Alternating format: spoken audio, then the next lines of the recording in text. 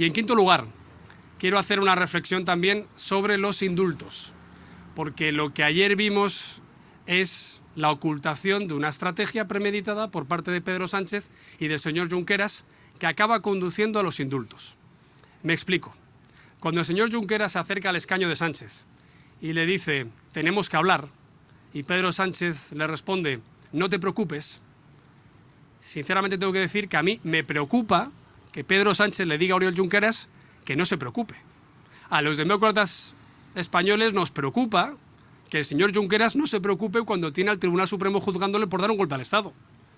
A los parlamentarios del Partido Popular nos preocupa y mucho que Pedro Sánchez le diga a alguien que ha dado un golpe a la legalidad que no se preocupe. Porque al final todo esto conduce a lo que venimos viendo unos cuantos meses y que parece ser que alguien aún no se ha dado cuenta.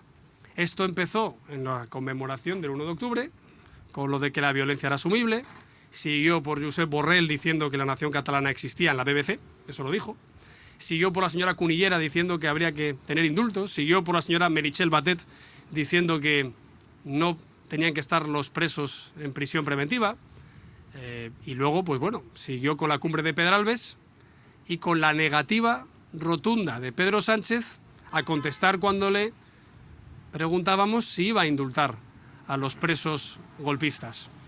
Y claro, al final esto es lo que parece. Esto es verde y con asas.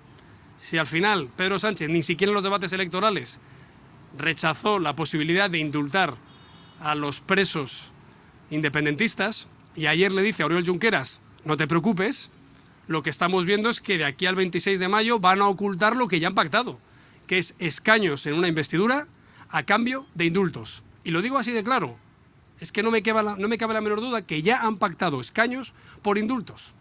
Y claro, eh, sinceramente creo que, que esto es muy preocupante. Sobre todo porque al final esto no es la primera vez que pasa. El Partido Socialista ya ha pactado con Esquerra Republicana y con Iniciativa per Cataluña en dos ocasiones aquí en Cataluña.